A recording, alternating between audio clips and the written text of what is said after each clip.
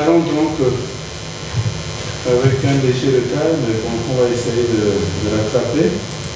Euh, avec la première table ronde de développement numérique et PIA que nous que animera Luc Missi que qu'on ne présente plus, hein, conseiller donc ministre euh, congolais de télécommunications et du numérique, que je prie donc de, de rejoindre la, la table. Euh, cette table ronde va être à nouveau hybride puisque deux des membres seront en ligne. Nous avons la joie d'avoir Jean-Philippe Métayer ici. Voilà. Bienvenue. Merci. Allez-y.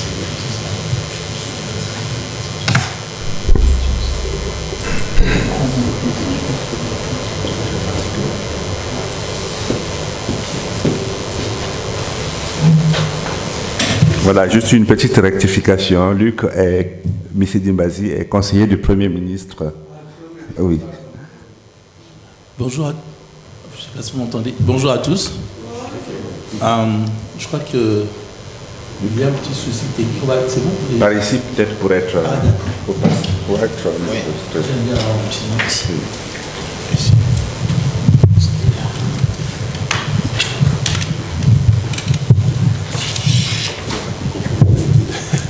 Bien sûr. Ils sont en ligne.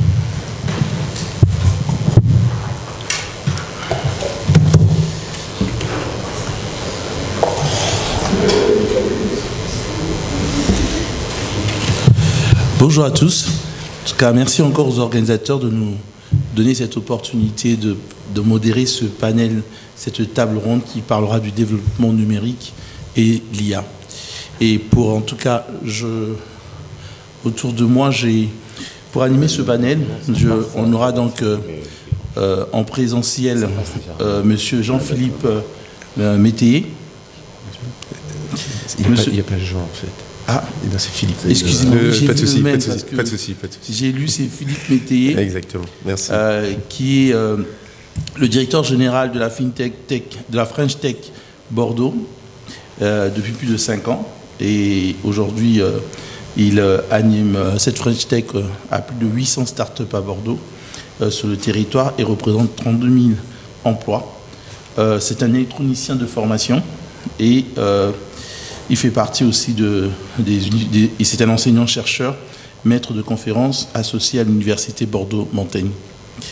J'ai en ligne, j'espère qu'ils sont là, deux autres personnalités. Dominique Miguicha, le coordonnateur de l'Agence du numérique et conseiller spécial du chef de l'État de la République démocratique du Congo. Je ne sais pas s'il est en ligne.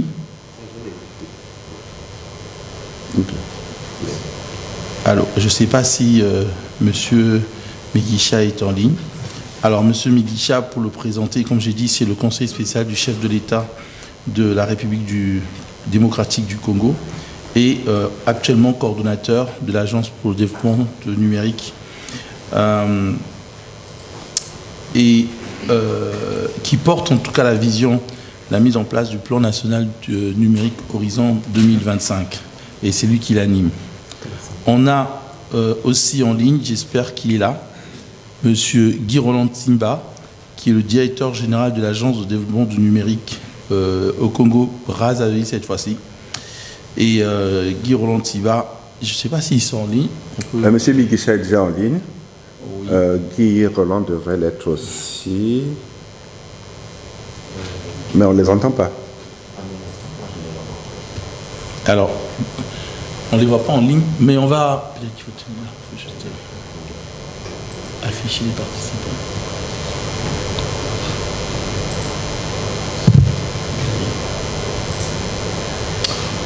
En tout cas, on ne les voit pas en ligne, mais on va commencer. Je vais donc euh, euh, euh, commencer à accorder la parole à monsieur, je ne vais pas dire deux fois la même bêtise, bêtise, mais Philippe Meillet. Alors là, ici aujourd'hui, nous parlons de, du développement numérique et l'intelligence artificielle. On sait que depuis un moment, dans les pays africains, il y a cette émergence des agences de développement de l'économie numérique qui portent les transformations digitales dans les États, qui portent également euh, toute la dimension euh, entrepreneuriale dans le secteur. On aime dire start-up. Moi, j'aime pas dire start-up en Afrique parce que la dimension financière est encore assez euh, très limitée. Mais en tout cas, pour se comprendre, on va faire l'effort de dire start-up puisqu'il y a des créations, pas des innovations toujours. Le but ici, de se faire un tour de table et de savoir comment on envisage peut-être ce développement numérique dans nos paysages nouveaux avec toutes ces innovations, l'intelligence artificielle, la cybersécurité, toutes ces problématiques liées à l'éthique. On a beaucoup parlé lors de ce, ce colloque. Toutes ces problématiques liées aussi à la formation, à la compétence, au financement. Comment on envisage, Monsieur Philippe Meillet, ce nouveau paysage qui ne cesse d'évoluer? Merci pour l'invitation et merci pour cette, euh, table ronde. Euh, je pense qu'on peut tous s'accorder à dire que l'intelligence artificielle, on n'en a jamais autant entendu parler, euh, quels que soient les médias, quelle que soit l'actualité, euh, ces dernières semaines et ces derniers mois. J'aime rappeler quand même que l'intelligence artificielle, ce n'est pas du tout nouveau. L'intelligence artificielle existait au siècle dernier et très peu en parlaient et très peu maîtrisaient cette technologie le point essentiel, c'est que cette intelligence artificielle, aujourd'hui, euh, est diffusée. C'est-à-dire qu'il y a une massification complète d'accès à l'intelligence artificielle. Et la vraie question va être la suivante, c'est que va-t-on en faire à titre individuel, titre de personnalité physique ou au titre de personnalité morale, bien sûr, en termes d'organisation. Start-up ou pas start-up, j'aime à dire entreprise technologique et innovante, je vous rejoins, euh, plutôt que start-up, euh, c'est-à-dire que en fait tout type d'entreprise qui va utiliser ces technologies. Alors comment les, les pays s'organisent? Quelles organisations sont mises en place? Notre rôle à la French Tech, c'est de faire émerger des technologies qui soient au service de toutes et tous et qui permettent de contribuer à de la création de valeur tout en ayant de l'impact positif, sociétal et environnemental. L'équation est complexe, le challenge est élevé, mais c'est tout l'enjeu. Alors pour répondre à la question sur l'IA, je voudrais citer deux chiffres de l'OCDE pour vraiment avoir en tête l'avènement dans lequel la période dans laquelle on se trouve en termes d'IA. Deux chiffres sur d'abord les publications. En termes de publications euh, en 2010, il n'y a eu dans le monde que 40 000 publications sur l'IA. Et c'était plutôt réservé à des publications purement scientifiques, purement techniques. En 2019, on est à 1,2 million de publications. C'est-à-dire qu'on est passé de 40 000 à 1,2 million. Et là, tout l'enjeu, c'est-à-dire que c'est une augmentation considérable des publications, mais ça n'est plus seulement du domaine purement scientifique et technique, c'est aussi du domaine sociologique, philosophique, éthique, juridique, de toutes les composantes qui sont absolument nécessaires parce que cette IA va bouleverser bon nombre de nos habitudes et des activités. Et forcément, à un moment donné, il faut avoir une question bien plus globale qu'uniquement technologique. Le deuxième point, quand on parle de développement euh, du numérique et de développement économique, forcément, c'est le sujet de l'investissement. Et l'investissement dans les entreprises technologiques et innovantes, ou dans les startups, euh, en 2011, 3% des investissements se faisaient dans l'IA. 3%. En 2018, on est à plus de 12%. Et c'était déjà il y a 4 ans et demi, 5 ans. Ça veut dire qu'en fait, aujourd'hui, ce qu'on aime appeler les deep tech, c'est-à-dire que c'est des entreprises technologiques et innovantes, des startups qui utilisent des technologies de rupture comme l'IA, euh, aujourd'hui sont les entreprises dans lesquelles les investissements sont les plus importants. Et en plus, c'est les entreprises dans lesquelles la diffusion de ces services est la plus rapide. Ça veut dire que la pénétration marché, la pénétration de ces outils va être fulgurante. Ça va aller très très vite, beaucoup plus vite que les services classiques que l'on connaissait euh, dans les années passées. Alors comment, comment un pays s'organise pour cela? Euh, Au niveau de la France, la mission Villani en 2017 de Cédric Villani a été euh, s'est conclu par la remise d'un rapport qui, dont le titre est Donner un sens à l'IA pour développer une stratégie nationale et européenne sur le sujet de, l'IA. Je ne vais pas vous faire tout le rapport, il est accessible évidemment et je suis certain que vous, l'avez parcouru. Moi, il faut retenir les trois grands axes de, ce rapport. Le premier axe, c'est de développer un écosystème de talent. Et quand on dit de talent, c'est à la fois d'étudiants formés ou de salariés en formation continue qui sont formés également sur ces technologies, sur l'IA, parce que beaucoup en parlent, peu la maîtrisent. Quand on dit développer un écosystème de, de talent, c'est aussi évidemment euh, de créateurs d'entreprises technologiques et innovantes, ça c'est absolument fondamental. Euh, et développer un, écosystème de talent, évidemment, c'est associer toutes les composantes de la recherche pour faire en sorte que ce triptyque recherche, entrepreneuriat et étudiants ou salariés formés à ces technologies puissent répondre à cette euh, nouvelle technologie absolument fulgurante et qui va changer énormément de choses. Le deuxième axe de, cette stratégie nationale de l'IA, c'est de diffuser l'IA et la donnée dans l'économie et dans l'administration. C'est très important d'avoir cette double composante économique et administrative parce qu'aujourd'hui, euh, l'administration publique euh, a tout intérêt à prendre cette technologie à bras le corps dès maintenant, sinon elle risque de ne pas pouvoir suivre le rythme euh, de demande, le rythme d'instruction d'un certain nombre d'entreprises, d'un certain nombre d'organisations qui vont se créer massivement dans ces technologies. Et le troisième point, c'est de promouvoir un modèle éthique équilibré entre innovation et protection des droits fondamentaux en tant que citoyen, en tant que euh, particulier, en tant que salarié. On a évidemment euh, les droits fondamentaux doivent être respectés et ce n'est pas une technologie qui doit venir bousculer ces droits fondamentaux. La vraie question, c'est comment on l'encadre. Et ça, ça fait partie déjà des, questionnements très forts qui ont été posés dès 2018 par ce rapport de Cédric Villani euh, sur l'IA. Et ça a débouché sur le plan qu'on appelle SNIA, Stratégie euh, nationale pour l'intelligence artificielle en France, qui a eu un certain nombre de déclinaisons déjà sur les années passées et qui va se poursuivre dans les, années futures.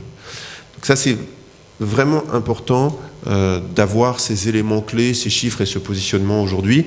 Euh, concrètement, nous, à la, French Tech Bordeaux, comme à la mission nationale French Tech, l'idée c'est d'encadrer au maximum toutes ces créations d'entreprises technologiques et innovantes pour qu'elles puissent embrasser toutes ces composantes, créer des produits et des services pour répondre à des besoins, pas pour se faire plaisir, et évidemment avoir une adéquation euh, sociétale, environnementale, éthique par rapport aux produits ou aux services proposés.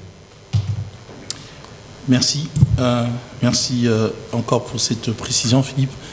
Je, vais me, je vois connecter M. Dominique Miguicha et M. Guy Roland Tiba. hier encore, on parlait de stratégie, de plan d'action pour les gouvernements. Vous êtes tous les deux, M. Tiba et M. Miguicha, en charge de la mise en œuvre des plans nationaux que vous avez dans, chacun dans votre pays, euh, un plan national de développement de l'économie numérique. Comment vous intégrez-vous à votre niveau l'intelligence artificielle? Est-ce que euh, l'intelligence artificielle euh, aujourd'hui est déjà intégrée dans votre plan stratégique ou ce sont des composantes que vous devez ajouter avec des révisions de stratégie? Alors je vais commencer par M. Miguicha. Je rappelle que M. Miguicha est le coordinateur de l'Agence nationale du numérique nouvellement créée en, République démocratique du Congo pour pouvoir accompagner le gouvernement congolais de la mise en œuvre du plan stratégique numérique. Monsieur Miguicha, vous avez la parole. Oui, euh, merci. Euh, cher Luc, bonjour euh, à tous les participants, bonjour à tous les panélistes. Donc, je me trouve actuellement euh, en, en, Belgique, je ne suis pas en République démocratique du Congo, mais donc c'est avec plaisir que je prends part euh, à cette activité. alors pour répondre à votre question, vous l'avez dit, nous sommes actuellement en République démocratique du Congo dans un, une, une phase de, rattrapage, si on peut dire ça comme ça, compte tenu du fait que nous avons connu une vingtaine d'années avant l'arrivée du euh, l'actuel chef de l'État, Félix-Antoine Tshisekedi Chilombo, une vingtaine d'années d'une de, de, forme de, léthargie, euh, qui s'explique pour des raisons principalement socio-politiques et sécuritaires. Et donc, euh, nous avons élaboré ce plan national du numérique sous l'impulsion du chef de l'État, qui est aujourd'hui mis en œuvre depuis 2019. Et euh, il prévoit un certain nombre de, de, structurations. Alors, euh, parmi celles-ci, il y a actuellement donc euh, en gestation, parce que ça a été acté et, je dirais, créé par la loi, le portant code du numérique qui a été promulgué le 13 mars 2023, donc c'est tout récent, et qui finalement euh, je dirais, instaure un certain nombre de structures comme l'Agence nationale de cybersécurité, ainsi que euh, le Conseil national du numérique. Cela, bien sûr, ça vient euh, s'ajouter à tous les dispositifs concernant un, nombre assez, assez important d'éléments du secteur, comme les données à caractère personnel, bien sûr la signature électronique, euh, commerce électronique, etc., euh, etc. Alors pourquoi est-ce que je parle du Conseil national numérique et euh, actuellement il y a une commission à la présidence de la République qui planche sur le texte devant organiser le Conseil national numérique? Eh bien parce que ce sera un organe consultatif, comme ça l'est dans un certain nombre de pays. Ça sera également un organe d'orientation au niveau, au plus haut niveau, entre le chef de l'État, le Premier ministre et un certain nombre de ministres, dont les ministres sectoriels. Et euh, ce, conseil consultatif, donc, euh, une de ses premières missions, ça sera précisément de plancher euh, pour le compte de la haute hiérarchie sur les questions liées à l'intelligence artificielle pour donner quelque part un éclairage. Quelle est l'idée? L'idée est que nous avons en République démocratique du Congo, au niveau de la gouvernance, euh, la, vision au plus haut niveau, au niveau du chef de l'État, et l'exécution au niveau du gouvernement à travers, une traduction de cette vision dans un document programmatique qui, euh, que le chef du gouvernement présente devant le Parlement. Le plan national du numérique est aujourd'hui euh, mis en œuvre, a été donc et, fait partie de la feuille de route du gouvernement. C'est l'axe 42, le pilier 9. Le numérique étant quelque chose qui est évidemment dynamique, euh, dans le plan du numérique, la dimension de l'intelligence artificielle n'est pas n'est pas n'est pas euh, n'a pas l'importance que cela a pris aujourd'hui. C'est ce plan a été élaboré en 2019. Je vous le rappelle. Donc l'idée c'est quelque part d'actualiser et de permettre à ce que euh, au plus haut niveau on puisse, je dirais, formuler et impulser des approches par rapport à ces questions des de l'intelligence artificielle. Et c'est pour cela que le Conseil national numérique, qui est euh, composé très largement avec euh, euh, des représentants, bien sûr, de la représentation nationale, des universités, du secteur, de la société civile, etc., etc. Et le but, c'est de faire ce travail pendant peut-être six mois pour permettre, d'ici la fin de l'année, eh bien, à la haute hiérarchie, eh bien, de finalement euh, de définir des axes, euh, de définir des stratégies qui euh, vont pouvoir se, se, décliner pour permettre à notre pays de capitaliser sur, je dirais, ce secteur, avec évidemment une prise en compte la plus large possible du ressenti au niveau de l'expertise et au niveau finalement de, de toute la, la, société congolaise, en particulier évidemment ceux qui sont en lien avec le secteur. Donc voilà un peu la façon dont nous allons euh, traiter de cette question. Bien sûr, nous observons ce qui, se, ce qui se fait, ce qui se fait notamment au niveau de, de, de, l'Union européenne, toutes ces appréhensions, euh, bien sûr, toutes ces, tout, tout, cet espoir que ça peut, ça peut faire naître par rapport à, un certain nombre d'évolutions et, d'accélérations. mais nous avons levé l'option eh bien, de faire les choses de manière extrêmement cadrée et, maîtrisée pour finalement nous donner les moyens d'avoir une vraie déclinaison congolaise sur, ces, sur ces questions d'intelligence artificielle. Merci beaucoup, cher Dominique. Euh, alors, je vais me retourner auprès de. Je vais vers euh, M. Guy Roland Timba. Euh, vous avez, vous, de votre côté, effectivement, un plan stratégique que vous mettez en œuvre. L'agence est, comme en RDC, aussi nouvelle. Quelle est votre approche en matière de stratégie, d'intégration de, l'IA dans cette stratégie et au niveau national? Et après, je reviendrai, avant de, donner la parole à Philippe, sur, en tout cas, deux, trois éléments importants. Euh, euh, le, développement d'un écosystème, est-ce qu'il devrait être euh, national ou sous-régional? Je sais qu'il y a des initiatives dans la sous-région, mais d'abord, M. Guirland Siba, comment vous voyez, vous, au niveau du Congo-Brazzaville, l'intégration de l'IA dans les stratégies nationales? Merci, merci, cher Luc. Et pour le retard, nous avons eu certainement quelques dysfonctionnements techniques à notre niveau. Pour répondre à la question, il faut d'abord rappeler que euh, la stratégie nationale de développement de l'économie numérique en République du Congo a été élaborée en 2018 et approuvée en 2019 par le, gouvernement. Et euh, l'année dernière, en 2022, le gouvernement venait d'adopter, d'approuver sa politique nationale de développement qui fait de l'économie numérique un des six piliers stratégiques. Et donc, sous financement Banque mondiale, nous avons euh, pris la résolution de mettre à jour notre politique nationale de développement de l'économie numérique pour prendre effectivement en compte euh, cette dimension d'intelligence artificielle. Vous savez, l'intelligence artificielle est une technologie euh, très avantageuse pour le, le, développement ou la croissance dans un pays, mais cette technologie peut également engendrer un certain nombre de, dérives.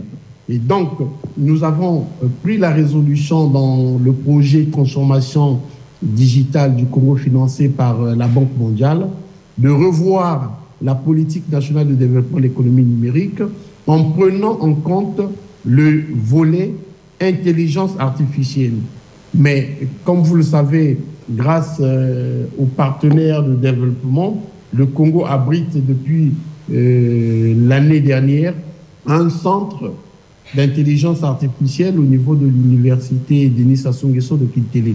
Et donc nous allons travailler, nous allons travailler pour assurer un encadrement adéquat sur un plan éthique et juridique pour que l'intelligence artificielle au niveau du Congo ne pas ou ne fasse pas l'objet d'un certain développement d'activités de cybercriminalité. Voilà ce que je peux dire à ce stade en ce qui concerne la prise en compte de la dimension intelligence artificielle dans la stratégie de développement de l'économie numérique euh, au niveau de la République du Congo. Merci, Monsieur DG Timba. Euh, euh, Philippe, tout à l'heure,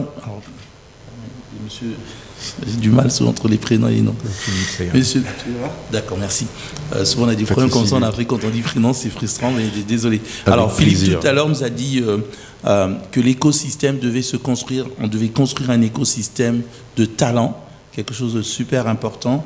je vais revenir auprès de Dominique, mais comment on construit cet écosystème de talent Est-ce que cet écosystème de talent se construit dans nos pays où il y a une dynamique sous-régionale ou régionale qu'il faut mener pour avoir cet écosystème de talent, pour permettre le développement de l'IA et aussi la diffusion de l'IA dans nos différentes administrations. Quel est votre point de vue à tous les deux, M. Ntimba et M. Migisha?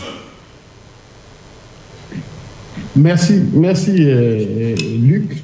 Effectivement, au niveau national, comme vous venez de le dire, on vient de mettre en place l'Agence de développement d'économie numérique pour essayer de coordonner la gouvernance de toutes ces questions qui contribuent ou qui concourent au développement de ce secteur, que ce soit le numérique ou l'intelligence artificielle aujourd'hui, le tout va ensemble. Nous avons déjà mis en place cette agence qui va travailler avec tous les acteurs de l'écosystème.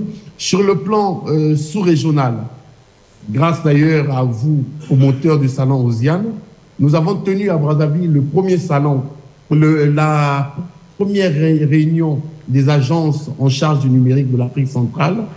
Les discussions vont se poursuivre. D'ailleurs, euh, je salue euh, Dominique qui va abriter en novembre la deuxième rencontre des agences euh, en charge du numérique de l'Afrique centrale. Certainement à partir de Kinshasa, nous allons décider de la suite que nous allons donner à cette plateforme que nous venons de créer. Mais il faut également souligner qu'au niveau régional, il y a l'Alliance Smart Africa qui a convoqué euh, toutes les agences en charge du numérique pour le 1er juin à Marrakech. Et à l'image des, euh, des agences de régulation, Smart Africa veut également construire un écosystème des agences spécifiques en charge du développement de l'économie numérique. je pense que les choses sont en train d'évoluer et euh, demain, toutes les agences, que ce soit au niveau national, sous-régional ou régional, vont travailler en synergie pour euh, le développement de ce secteur dans nos pays ou sur le plan continent. Je, je, je voudrais euh, compléter mon ami euh, Guy Roland, que je salue euh, également, sur le fait qu'effectivement, ces questions, nous avons intérêt sur le plan continental, eh bien, à tout faire pour avoir un, ces, ces, ces, échanges et mettre en place ces cadres de, de, de, de réflexion et, et, pour pouvoir même, je dirais, aller, aller, aller plus loin euh, par rapport, euh, je dirais, à l'utilisation de ces technologies euh, pour résoudre un certain nombre de problèmes et pour nous permettre finalement de encore mieux capitaliser sur le numérique dans le cadre des, de, notre, de, notre, de notre développement, des, du développement de nos pays respectifs. Et donc, je ne peux effectivement que, que souscrire à ce qui a été dit et je confirme que Kinshasa aura l'honneur d'accueillir cette deuxième conférence des agences de la sous-région. Là, on est sur un cadre sous-régional. Il y a effectivement le rendez-vous de, de, Marrakech dans le cadre de, Pana, de, Smart, de Africa. Là, on parle de euh, à peu près 35 pays. Euh, on aimerait évidemment que l'Union africaine soit vraiment pile à l'heure euh, du rendez-vous numérique. nous formulons le vœu que, que, les choses puissent s'améliorer, s'accélérer de ce point de vue-là. Sur le plan national, euh, bien sûr, le plan national numérique est articulé euh, sur quatre piliers que sont les infrastructures, euh, les usages applicatifs, les contenus et la gouvernance et régulation. Nous avons aujourd'hui le Code national du numérique, nous avons un plan national des infrastructures qui est en, en, cours. Et bien sûr, une fois qu'on a mis en place les autoroutes d'information, nous avons ce cadre, il nous faut nous occuper du contenu, des usages applicatifs. Et là, le socle, c'était bien sûr la formation. Euh, Aujourd'hui, c'est vrai que sur les questions d'intelligence artificielle, eh bien, nous sommes vraiment dans les, dans les, dans les prémices. On n'a encore vraiment euh, de filières organisées et, et mais, mais c'est tout cela sur lequel nous allons devoir réfléchir parce que le vrai défi, c'est la mise en adéquation entre la formation et les métiers de demain et finalement euh, permettre à notre jeunesse euh, sur les bonnes filières qui vont leur permettre de s'épanouir et leur permettre d'être utiles pour les sociétés, que ce soit la société congolaise, la société africaine ou à, travers le monde. Et donc, c'est en cela que nous avons que nous comptons sur ce travail qui va être, fait. Il y aura évidemment la composante de, tout ce qui concerne euh, la formation. Les universités font partie, euh, seront au cœur de ce travail sur les questions euh, d'intelligence artificielle et, le rapport qui est attendu. Et bien évidemment, nous attendrons euh, euh, par la suite une adaptation, une, mise en adéquation du système éducatif, que ce soit au niveau du primaire, du secondaire et bien sûr au niveau du supérieur, avec des filières dédiées sur ces nouvelles technologies. Merci à vous. on va on ne peut pas parler d'intelligence artificielle sans parler de, start-up. On ne peut pas parler de French Tech sans parler de start-up et sans parler de, partenariat. Pas plus tard que hier, le président Macron a annoncé, reçu les chefs d'entreprise pour Choose, qui est ce programme d'investissement de la France vers l'international. Et alors, Philippe, comment on voit aujourd'hui euh, la collaboration, on va dire, entre, euh, en tout cas, d'un point de vue technologique, entre ces startups qui innovent, qui, réussissent, qui ne réussissent pas, euh, avec des besoins peut-être ici en Occident, mais des besoins qui peuvent aussi être pressentis dans des pays en développement. Comment on peut, on peut bâtir une coopération de gagnant-gagnante au niveau technologique pour l'IA entre la French Tech et les pays en développement? Et pour compléter cela, euh, comment aujourd'hui euh, on peut euh, arriver à créer ces talents, j'aime bien l'expression de l'écosystème de talents qui touche les laboratoires, les universités, les, R&D et tous ces, tous, ces acteurs. Comment aujourd'hui on peut mettre en place une dynamique sans parler seulement de financement? Comment on peut aujourd'hui mettre cette collaboration en place, ces coopérations en place entre la France et les pays en développement? Merci Luc pour cette, euh, cette question. Je pense que c'est tout à fait fondamental et je rejoins pleinement ce qui a été, euh, ce qui a été dit euh, auparavant, dans le sens où on, a une, on a une question qui, qui, se pose à nous tous et qu'il s'agit surtout de, de, bah, de, regarder droit dans les yeux et de se d'essayer de, trouver des, éléments de réponse ensemble parce qu'il n'y a pas une seule réponse. le questionnement est tellement large qu'il faut absolument l'aborder sous toutes les facettes, j'ai envie de dire euh, toutes les composantes euh, universitaires, et je répète que ce soit juridique, éthique, financière, euh, économique, sociétal, social évidemment, sociologique, tous ces sujets sont éminemment importants. Alors comment on fait pour, pour cela? Je pense qu'il y a une, nécessité absolue au niveau national d'avoir une stratégie nationale d'avoir une déclinaison, et en France on, a les, trois IA, c'est-à-dire les instituts d'intelligence artificielle euh, qui ont été euh, dévoilés euh, l'année dernière pour faire en sorte qu'il y ait quand même des centres d'excellence au niveau régional, mais dans le même temps, il faut impérativement une coopération internationale.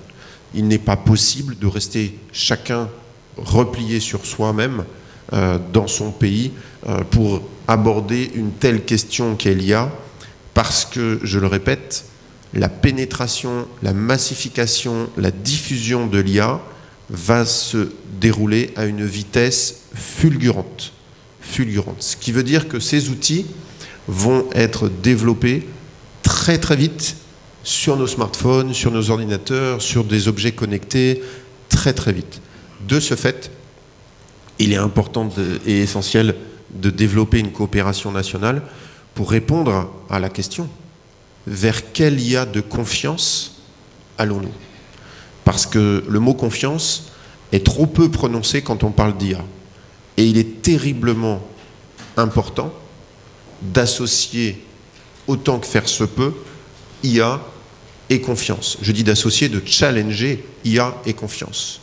À partir du moment où vous utilisez un service qui utilise des technologies d'IA, est-ce qu'on va pouvoir l'utiliser sereinement et en toute confiance ou est-ce qu'on va l'utiliser avec euh, euh, un doute, avec euh, un retrait, avec vraiment une hésitation sur ce que l'on peut demander, solliciter ou utiliser comme service? Donc cette nécessité de, de coopération internationale pour aller vers une IA de confiance est absolument essentielle. Et là, ben, il, faut, il, faut, concilier les, exigences euh, d'éthique et d'innovation.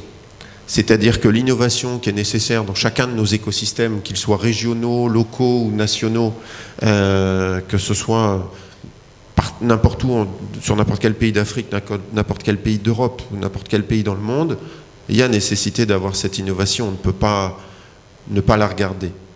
Mais on ne peut pas, en termes de droits fondamentaux, occulter la confiance nécessaire à l'usage de ces outils innovants.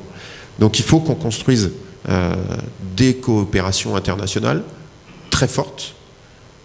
L'exemple de cette table ronde aujourd'hui, j'ai envie de dire, c'est un des ingrédients qui doivent alimenter cette coopération, mais il faut qu'on puisse s'inscrire dans le temps et il y a une forme d'urgence, forcément, parce que je le répète, la diffusion va être tellement rapide qu'on ne peut pas se donner un temps trop long.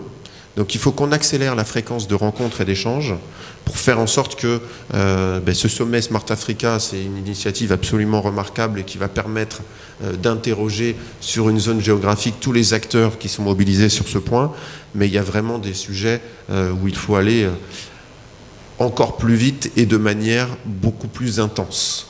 Donc, que ce soit au titre euh, universitaire, au titre chercheur, au titre enseignant, au titre euh, entrepreneurial ou au titre de la French Tech, on a tout intérêt à faire se réconcilier s'il y avait besoin de réconciliation, ou du moins faire converger toutes ces expertises, qu'elles soient nationales ou internationales, pour faire en sorte qu'on puisse avoir des éléments de réponse pour aborder euh, euh, ces, éléments avec confiance.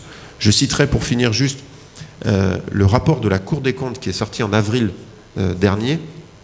La Cour des comptes a, émis en avril dernier, avril 2023, un, rapport sur la stratégie nationale de l'IA, ce qui est très intéressant d'avoir déjà un peu de recul par rapport à la Cour des comptes.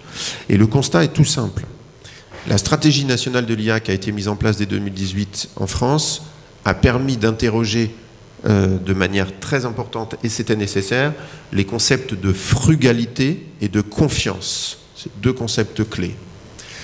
Mais l'écueil, c'est que, et là, ça a déjà été dit, mais euh, je pense que là, y a, il y a un rapprochement international et un besoin de coopération internationale très fort, ce qui nous manque à tous, c'est la montée en puissance très rapide des talents, des étudiants, des formateurs, des professeurs, professeurs enseignants dans le secondaire, enseignants dans le supérieur, sur toutes ces questions, parce qu'aujourd'hui, euh, l'usage de ces technologies va être décuplé euh, très très très rapidement, et la formation n'arrive pas à suivre. Donc là, il y a un sujet où la Cour des comptes formule trois grandes recommandations. La première, c'est réaliser des cartographies harmonisées et actualiser des formations en IA. Donc ça, c'est quelque chose qui peut être fait en France, mais j'ai envie de dire euh, qu'on peut faire à l'échelle internationale rapidement. Euh, prévoir les besoins en enseignants et en enseignants-chercheurs et en chercheurs sur les sujets d'IA. Il faut accélérer sur ce sujet.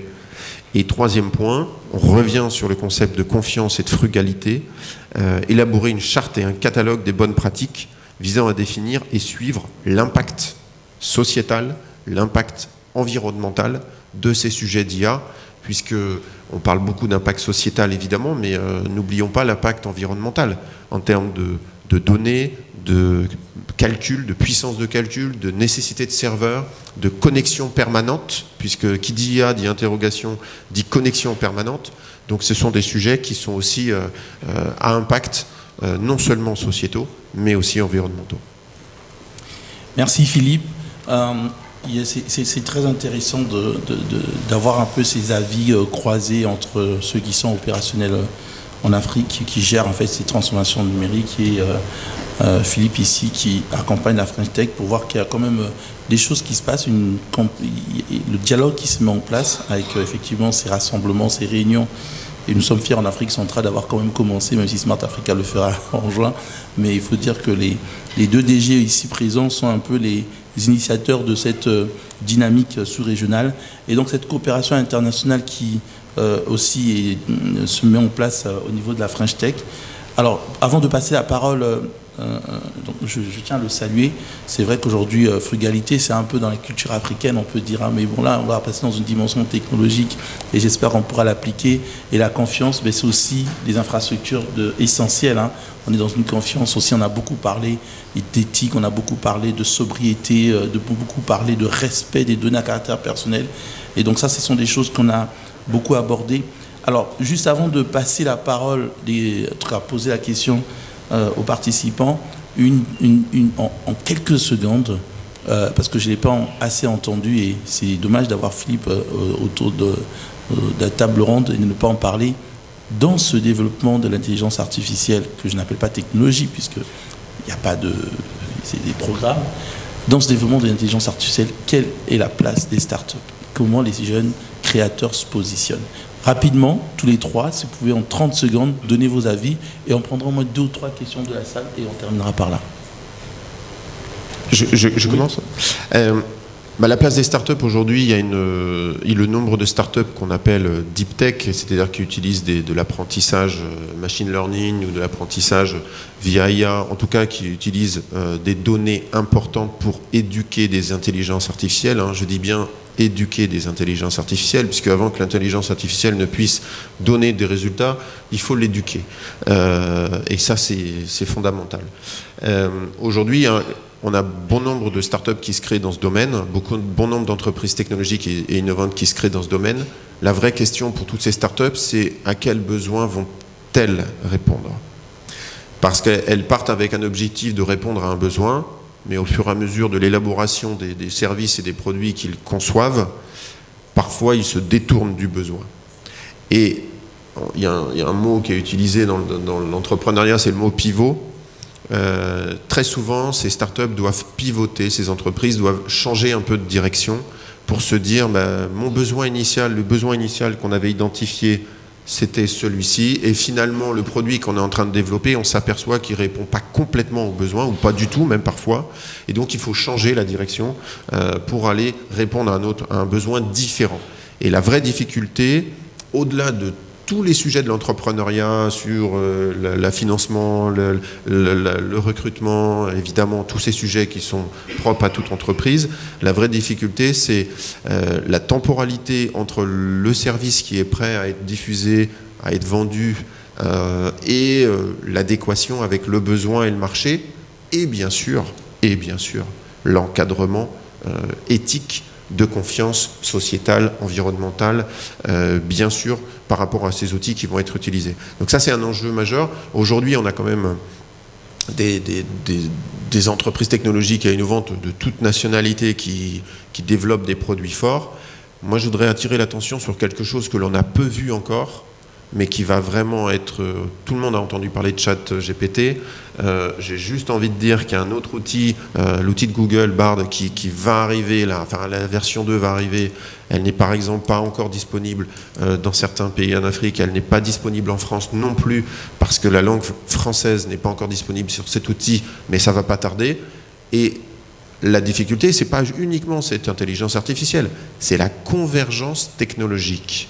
C'est-à-dire que l'IA, il va y avoir une convergence avec une autre technologie. Par exemple, la réalité virtuelle ou la réalité augmentée. Ça veut dire qu'une IA générative va être capable de, produire du contenu à la demande et l'intégrer directement dans le casque de réalité virtuelle. Ça veut dire que pas prendre des, casques de... Nous n'allons pas prendre des casques de réalité virtuelle pour voir du contenu qui est déjà créé. C'est que nous allons créer ce contenu à la demande via des IA génératives. Ça veut dire que pour des praticiens, par exemple, qui euh, font des premiers gestes de santé, non pas sur l'homme avec un H majuscule, mais euh, qui s'exercent en réalité virtuelle, ils peuvent euh, générer une opération du col du fémur simplement en la, dictant vocalement pour générer une opération du col du fémur. Donc là, les, les impacts sont énormes. Les impacts sont vraiment très importants. Donc la convergence des technologies va être euh, monumentale. Aujourd'hui, nous n'en sommes qu'au début sur ce point. Exactement. Très rapidement, l'avis sur euh, les startups, positionnement par rapport au développement de l'IA. Monsieur euh, Migisha et Monsieur Nsimba, très rapidement, votre point de vue. Je suis désolé. Allô? En ligne, en fait, Dominique Oui, allô? Oui, vous avez la parole. Oui, euh, si, je, peux, je peux donner mon point de vue. Euh, il est incontestable que euh, l'IA s'adapte très rapidement aux besoins du marché. Et comme vous le savez, toute start-up qui se crée a pour vocation à offrir soit un service, soit un produit à la population. Donc, concourt au développement d'un marché. Donc, forcément, les startups seront appelées à prendre en compte la dimension intelligence artificielle dans le développement de leurs produits ou services. Au niveau du Congo, il y a quelques jeunes qui sont dans l'innovation, qui essayent. Euh, aujourd'hui, d'ailleurs, vous-même, euh, euh, monsieur le conseiller, vous avez créé cet incubateur qui essaye d'encadrer les jeunes qui sont dans l'innovation, dans l'intelligence artificielle. Mais il serait bien que demain, que nous ayons des incubateurs spécifiques qui encadrent ces jeunes pour l'utilisation adéquate de l'intelligence artificielle dans les services ou produits qu'ils auront développés et mis à la disposition du marché. Voilà un peu le positionnement que j'entends, euh, selon mon avis, à donner aux, aux, startups. Ok, Monsieur Méguicha, rapidement, et puis on passe Oui, donc je pense que, bien sûr, je souscris à tout ce qui a été, à tout ce qui a été dit. Et euh, c'est vrai que cette convergence euh, qui, qui, qui, qui arrive euh, va finalement être un véritable bouleversement par rapport aux, aux multiples usages que finalement ça va pour, que cela va engendrer. Euh, il y a bien sûr les startups, vous l'avez dit, c'était le, le, le, cœur de votre question. Il y a tout l'écosystème, bien sûr, de, de l'innovation, de la recherche qui sont, qui sont, qui sont concernés. Euh, bien sûr, c'est les, les, startups, euh, ça a été dit par euh, Monsieur le DG Guy Roland, euh, elles, ont vocation euh, à innover et donc forcément l'IA c'est quelque chose sur lequel elles vont elles vont elles vont s'appuyer. Il, il, faut noter qu'il y a certaines, je dirais, innovations, produits bien qui finalement sont plutôt génériques et qui euh, s'adresse à pratiquement l'ensemble de la population sur Terre. Et puis, il y a des solutions plus spécifiques qui sont liées à des problèmes euh, plus particuliers, notamment ceux que nous connaissons en Afrique.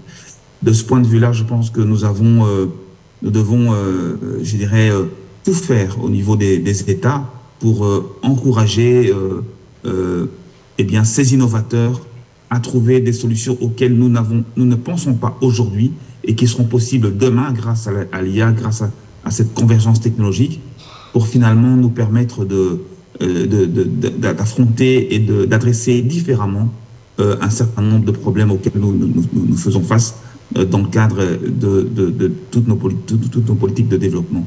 Et donc, euh, ces, ces, appuis, cette identification de, des, meilleurs talents et le, fait de, mettre des moyens, hein, des moyens pour pouvoir euh, euh, leur permettre de, eh bien, d'être dans des meilleures conditions. Et là, je pense évidemment aux centres de recherche, à tout ce qui concerne les, centres d'excellence.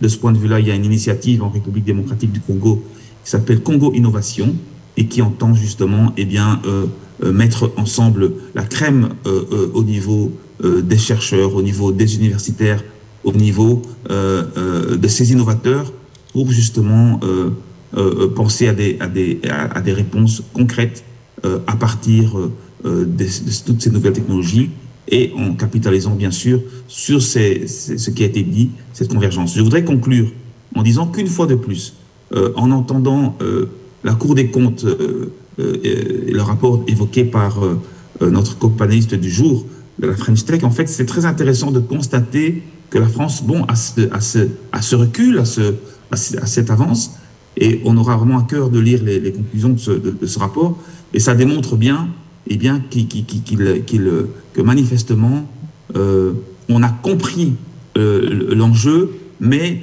qu'il y a des, choses qu'il faut euh, d'emblée se préoccuper, corriger. Et bien sûr, il est de l'intérêt de nos pays, de nos régions, eh bien déjà d'anticiper pour finalement capitaliser sur, ce, sur cette avance que, que, que, qu'a qu la, France dans, dans ce domaine. Merci. Euh, en tout cas, euh, nous sommes euh, très ravis. C'est vrai qu'on aurait pu, avec cette question de convergence et aussi de technologie, aller un peu plus loin.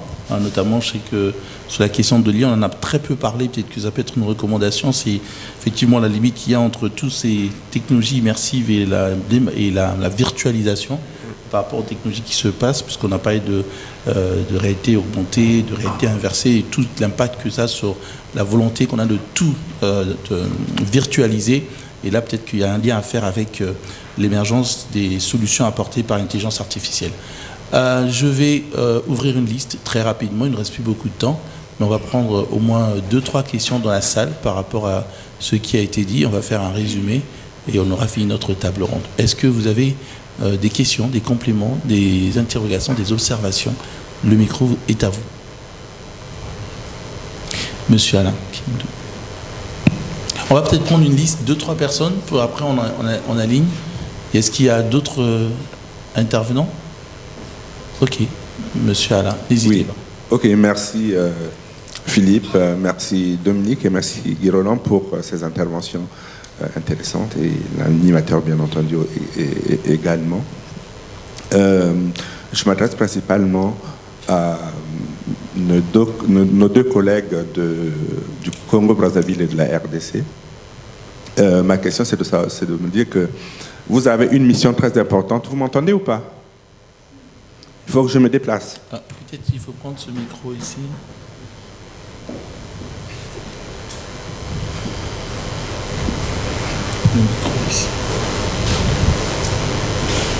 Est-ce que là vous m'entendez mieux?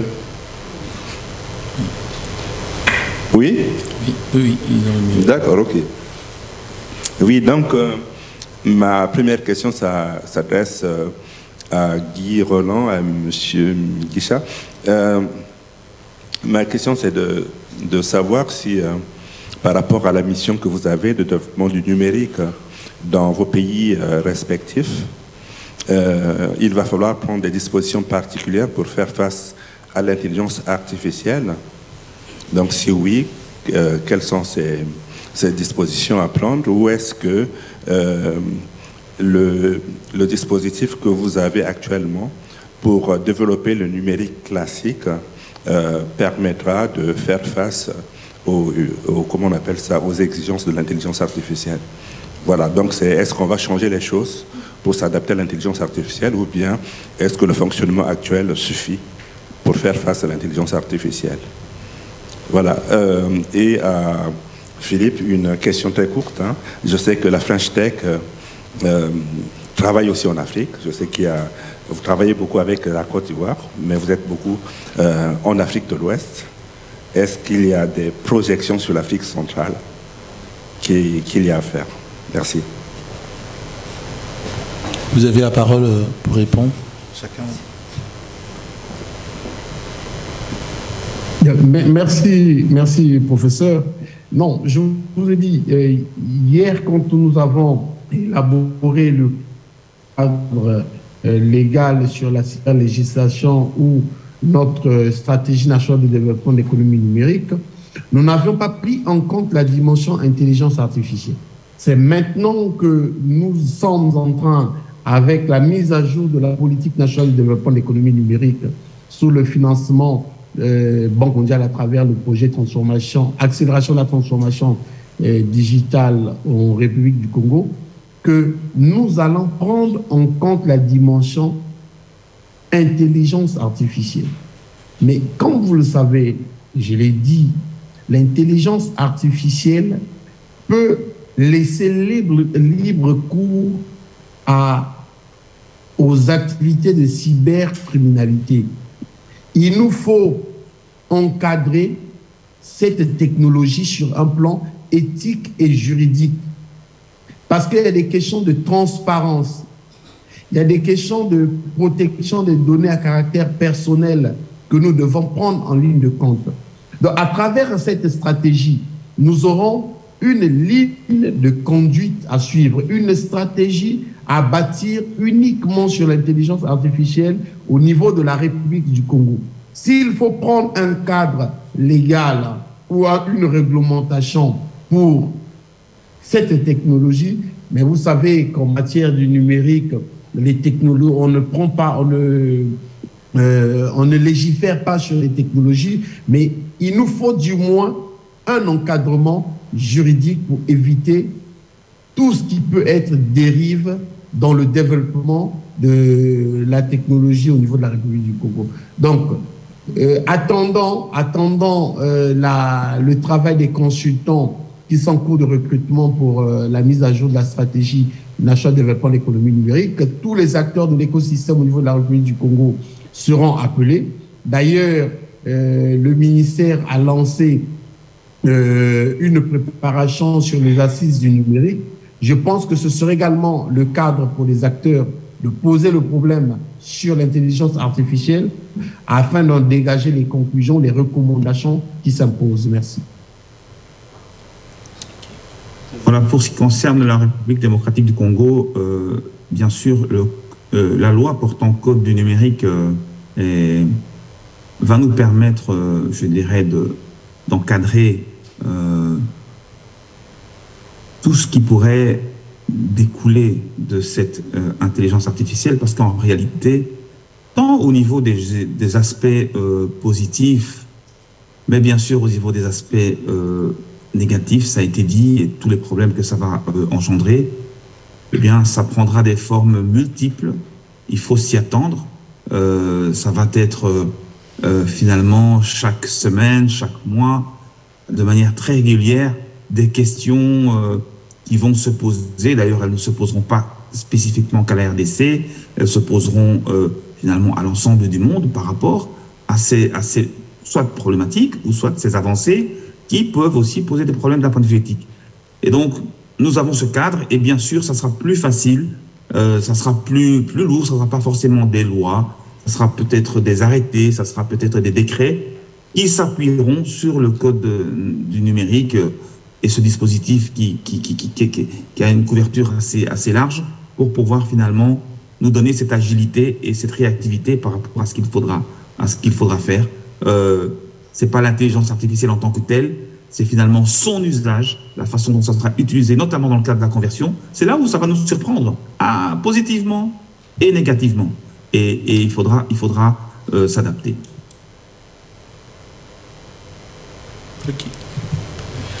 Très rapidement sur la question posée par, euh, par Alain, merci Alain, sur le, sujet des, des, actions concrètes qu'on peut envisager entre euh, la France et, des pays euh, africain. Euh, sur le, on est en train de, mettre en place euh, des dispositifs, notamment dans le cadre d'un programme qui s'appelle Sirena.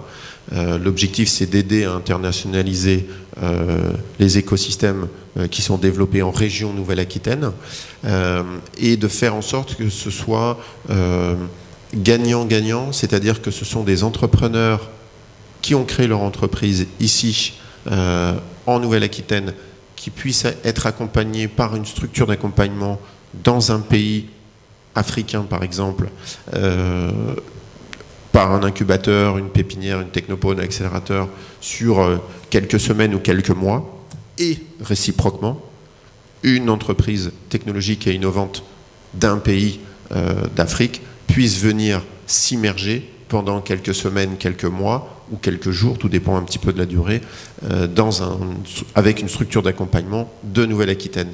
L'idée, c'est d'avoir, de co-construire justement, d'aller s'immerger, que ce soit d'un point de vue euh, culturel, d'un point de vue économique, mais aussi en profiter pour adresser des questions sur quels services, pour répondre à quels besoins, et si en plus on a des services avec de l'IA, ça, permet évidemment de nous, de nous questionner ensemble, non plus ensemble entre entrepreneurs d'une même localité ou d'une même ville, mais ensemble entre entrepreneurs bah, de pays différents, parce que les sujets et les problématiques, on le voit de par nos échanges aujourd'hui, sont communes. Les problématiques sont absolument communes. Donc il y a absolument nécessité de plus interagir ensemble, co-construire ensemble pour répondre à cette question. Voilà un tyran oui, il y a une dernière question, je vous en prie, monsieur Monti. Oui, euh, Fondation Anthony Manguenet, s'il vous plaît. Euh, dans, cette notion, effectivement, de développer un écosystème de talents, avec euh, l'utilisation exponentielle et la multiplication des usages, une réflexion existe-t-elle à l'heure actuelle, au-delà d'une charte éthique qui pourrait être internationale concernant l'IA Une réflexion existe-t-elle sur la création d'un code de déontologie en lien avec l'IA qui regrouperait les savoirs, les utilisations, les pratiques, etc., mais qui pourrait être opposable en cas de manquement, en cas de dérive, en cas d'accident, et ça permettrait peut-être de regrouper la notion d'encadrement, de confiance, de sérénité, et d'éthique et de responsabilité juridique. Cette réflexion existe-t-elle à l'heure actuelle? Alors je vais, j'ai laissé Panis peut-être apporter une réponse rapidement. Ben, est-ce qu'il y a une réflexion qui mène sur la mise en place d'un code déontologiques dans, en s'agissant de l'IA, dans son usage, son développement. Euh, je pense que sans répondre à la place des, des deux DG en ligne de Cordo, c'est des choses qui se mettent en place au Congo. Maintenant, la question, c'est est-ce qu'on l'a intégré, au moins l'idée, et en France, je ne sais pas si elle existe. Pour répondre très rapidement à cette question, à ma connaissance, aucun État dans le monde n'a légiféré par rapport à l'IA. Légiféré, j'entends. Euh, à ma connaissance. Je, Peut-être qu'il y a eu euh, quelques lois qui sont passées dans, certains pays, mais euh, à ma connaissance, il n'y a pas de... Il n'y a pas de lois qui ont été votées ou en tout cas promulguées dans quelques pays que ce soit sur l'IA pour avoir un encadrement strict ou, ou, pas. Évidemment, ces questions sont posées par tous les États, par tous les gouvernements. c'est une question vraiment c'est une très très grande préoccupation. Donc ça, c'est sûr qu'il y a un sujet. Est-ce que, si c'est pas légiféré, est-ce que c'est un code déontologique? C'est une vraie, vraie bonne question. Euh, à ma connaissance, il n'y a pas de code déontologique promulgué dans un pays, quel qu'il soit non plus. Peut-être qu'il y a eu des nouvelles récentes, mais à ma connaissance, ça n'est pas promulgué. Par contre, euh, il y a des, des sortes de garde-fous tout de suite sur un certain nombre d'éléments sur l'usage, sur la diversification, sur la massification, sur les données personnelles, sur enfin, tout, tout, tout ce qu'on a déjà euh, souligné. Euh, et ça, c'est important. Je citerai juste très rapidement un dernier exemple. Vous savez que pour éduquer une IA, il faut beaucoup, beaucoup, beaucoup de données. Mais ces données doivent être structurées. Et aujourd'hui, il y a des dérives sur la manière de structurer ces données. C'est-à-dire que ce sont des... Euh, on fait appel, en tout cas certaines entreprises font appel à des travailleurs de l'ombre euh, pour, euh, pour structurer euh, massivement ces données, mais manuellement ces données. Et une fois qu'elles sont structurées, elles permettent d'éduquer des IA. Ben, c'est aussi lutter contre cela, parce que il n'y a pas les clics que l'on peut gagner, ou les followers, les faux followers, ou les faux likes que l'on pouvait gagner il y a 10 ans, il y a 15 ans sur les réseaux sociaux, aujourd'hui se traduisent avec l'IA par des, non pas des faux, likes ou faux, euh, faux tweets, mais euh, tout simplement par euh, des travailleurs du clic pour structurer des données afin d'éduquer des IA. Donc ça, c'est des dérives qu'il faut absolument combattre pour faire en sorte que que ça se traduise par un code déologique, par une loi, ou enfin, à un moment donné, il y a un encadrement plus fort, mais qui soit permissif aussi au développement de technologies qui peuvent rendre des services. Toute la difficulté est là. Merci. Euh, merci. Euh, juste. Euh, Peut-être si je pourrais compléter hein, oui. rapidement. Donc, une fois de plus, donc c'est pas l'IA en tant que tel hein, qui, qui, qui, qui, pourrait, je dirais, poser problème. Ce sont, ce sont ses usages. Alors, je prends deux exemples ici. Un exemple facile à comprendre pour tout le monde, c'est la cybercriminalité. L'IA va aider, malheureusement, les cybercriminels il y a déjà des arsenaux qui existent pour pouvoir lutter contre cela. Il faut juste s'adapter, être plus vigilant, etc. Pour ce qui concerne l'Afrique, prenons un autre exemple euh, beaucoup plus pernicieux et pour lequel, effectivement, il y a quelque chose qui, sur lequel il va falloir être très vigilant, c'est la manipulation. Vous savez, dans les processus électoraux, il y a toujours toutes ces questions qui se posent. Demain, l'intelligence artificielle, avec sa, sa, puissance, eh bien, pourrait permettre de, manipuler euh, euh, des masses, de faire, de, faire des, de, peser sur finalement des processus électoraux. Et donc, ça peut être à ce moment-là beaucoup plus critique et beaucoup plus difficilement détectable, mesurable. Donc, c'est vraiment des questions sur lesquelles il faut être extrêmement vigilant. Il faudra, je pense, euh, faire en sorte que nous puissions, au niveau des États, eh bien, nous doter des moyens de pouvoir bien analyser toutes ces questions à 360 degrés parce que finalement, ça viendra de tous côtés et, et, on, risque d'être rapidement débordé par euh, euh, ces questions euh, d'intelligence artificielle, d'usage malveillant d'intelligence artificielle, notamment avec cette convergence annoncée. Merci beaucoup. Merci à vous. On avait sur ce panel M. Guy Roland Simba, directeur général de l'Agence de développement de l'économie numérique de la République du Congo. On avait aussi M. Dominique Minguicha, qui est coordonnateur de l'Agence nationale du numérique de la République démocratique du Congo et aussi conseiller spécial du chef de l'État. Et M. Philippe Meillet, qui est directeur général de... Non, pardon, Maté plutôt. Euh, Philippe Maté, qui est direct, euh, French Tech Bordeaux. On retiendra des éléments clés de ce moment, c'est quand même cette stratégie qui est mise en France qui est mise en place en France et qui s'appuie sur trois leviers. Le premier, c'est de développer un écosystème de talent, un terme que nous allons tous retenir ici, diffuser l'IA et les technologies dans les administrations, dans la société et promouvoir un éthique équitable, de l'éthique et pour l'IA.